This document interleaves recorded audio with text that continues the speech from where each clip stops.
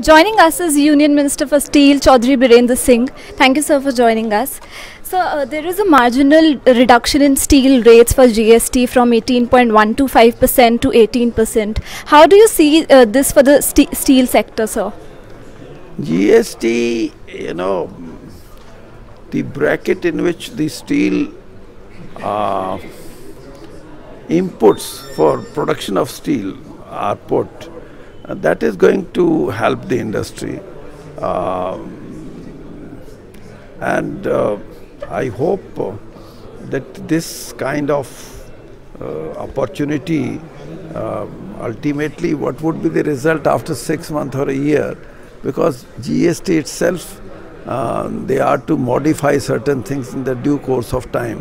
They have uh, already on record in certain things. They are still to take decision. But as far as this five percent, um, uh, you know, slab is concerned, certainly we are. Uh, the industry is uh, going to be benefited. Uh, sir, local demand for the industrial commodity is not picking up, and the government measures are phasing out soon. So, how do you think the demand will pick up in the sector? It depends, you know, most of the demands, uh, uh, if I, I'm very precise, we as a country, we are to develop our infrastructure. We are not at that stage where there is very uh, meager scope for infrastructure to be developed.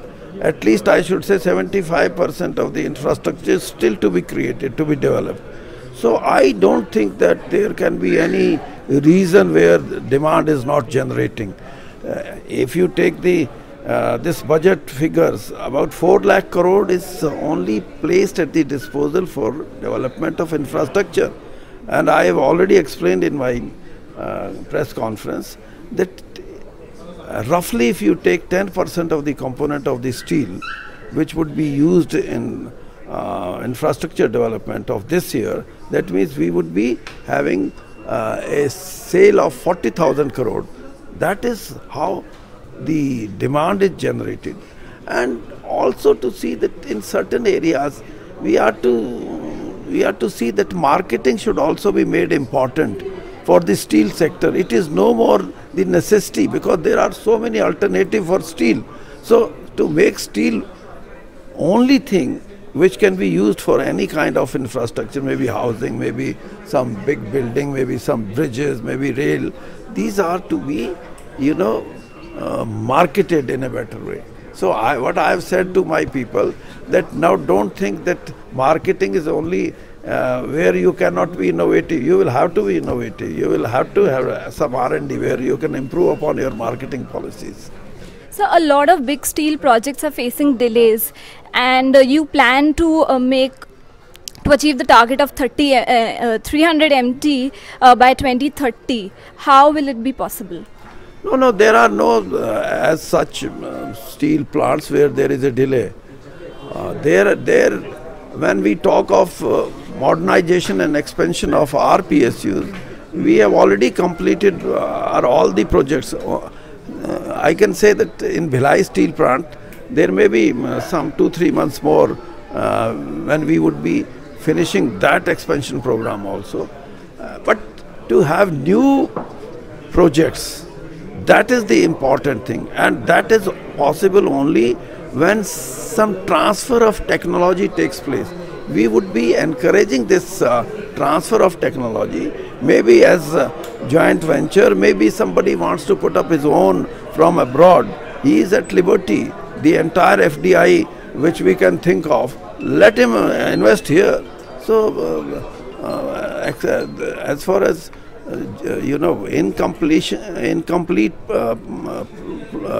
projects or projects which are to be completed, there may not be mm, hardly any, but it is of small quantity. It's not that important.